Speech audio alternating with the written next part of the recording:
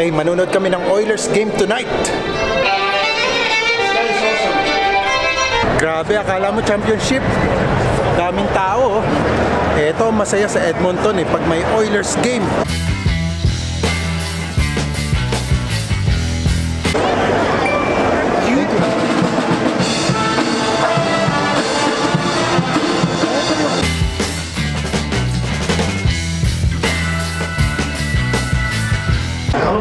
People of Turtle Island.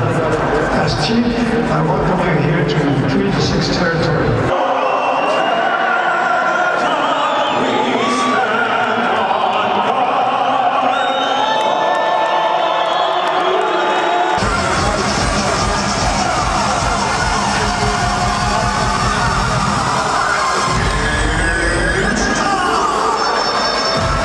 Naandito kami sa pinakang itaas kaya ang tingin mo sa mga players ay parang parang mga langgam lang, ganito lang kaliit. Iba pala pag nanood ka ng live na hockey. Parang ang tahi-tahimik. Siguro magsisigawan lang ito pagka may nakashoot na. At ito ang inaabangan nila sa mga hockey games. Alam nyo, itong hockey, para tong, may, may kasama tong parang boxing. Yun ang hinihintay nila pag minsan eh. Ayan, ayan, ayan, ayan. Tingnan natin kung ano nangyayari.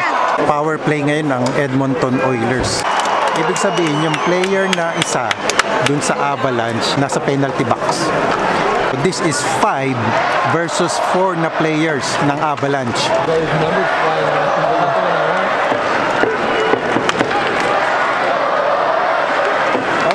Pag timeout, may tagalinis oh.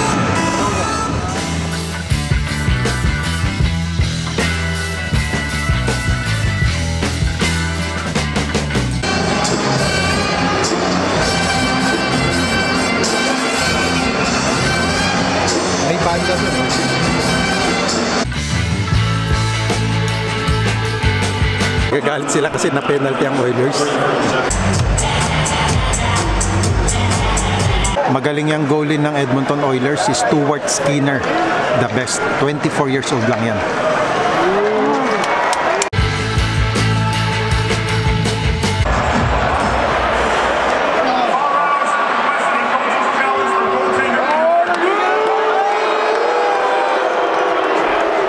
Budaw kasi goal, goal, goal, goal anong tawag doon? goal interference. Nire-review pa ng mga referee. Iba na talaga ngayon kasi may ano eh, may replay eh. So eto na decision time.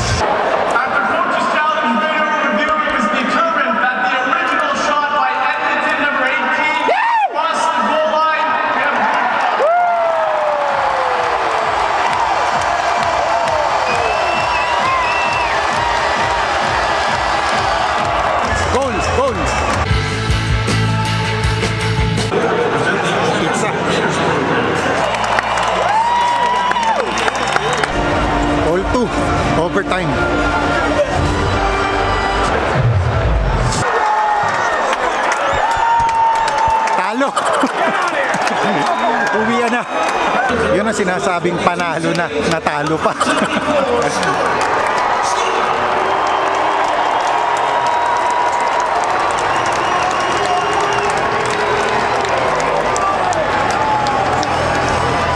Masaya din naman kahit talo.